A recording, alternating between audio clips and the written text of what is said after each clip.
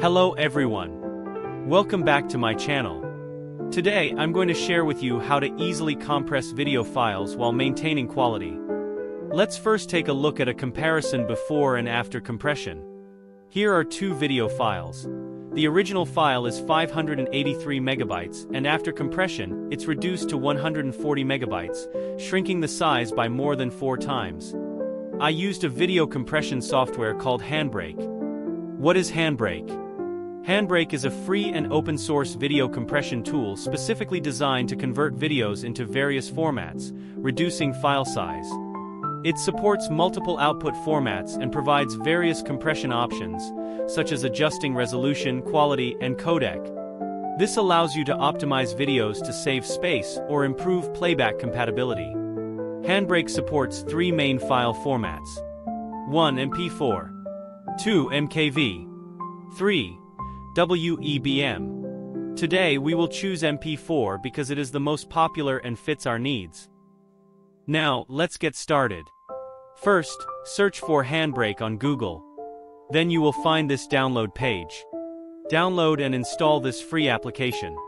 It supports both Windows and Mac systems. After the compression process is complete, the file size will be significantly reduced, but the video quality will remain stable. Now we open the Handbrake application. This is the interface you will see the first time you open it. Next, upload the video file you want to compress. You can either upload a single file or drag and drop an entire folder into the interface. I will demonstrate by selecting a single file.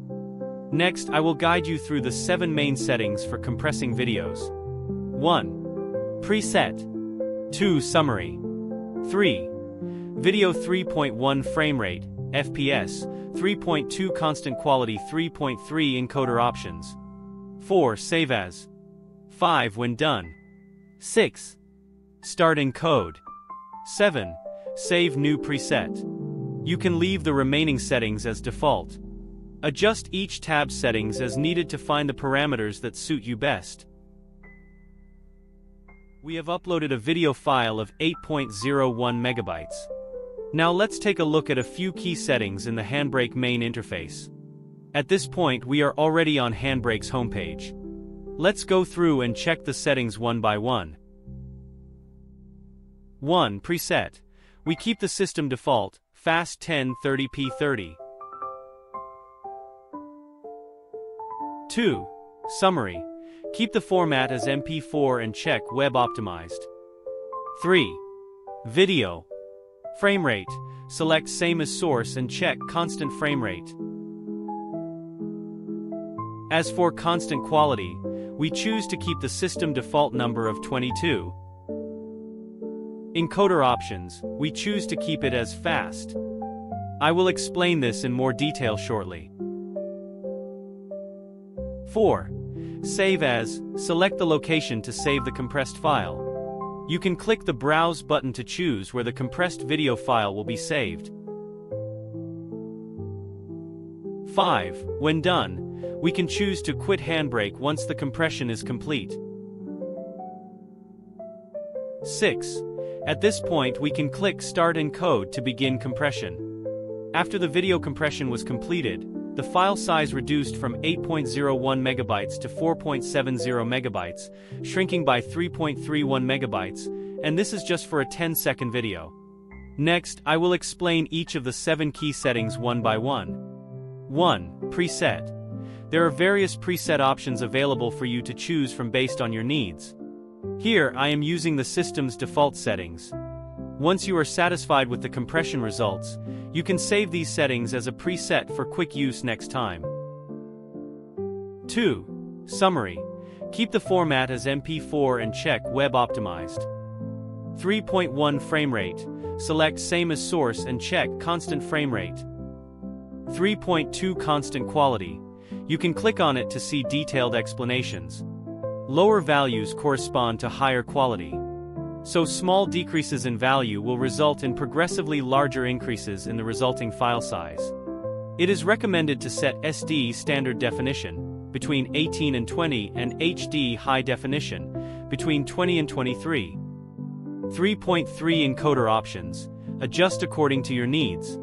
Adjust the encoder settings to balance between compression efficiency and encoding speed. Generally you should set this option to the slowest speed you can tolerate, as slower settings will result in better quality or smaller files.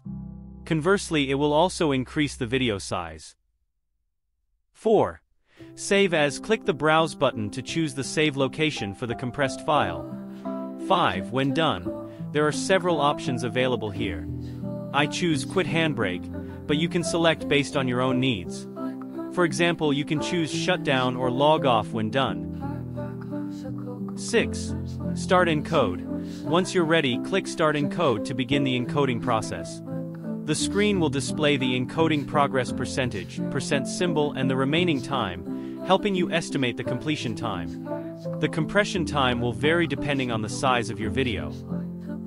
7. Save new preset. You can save these settings as a preset for future use.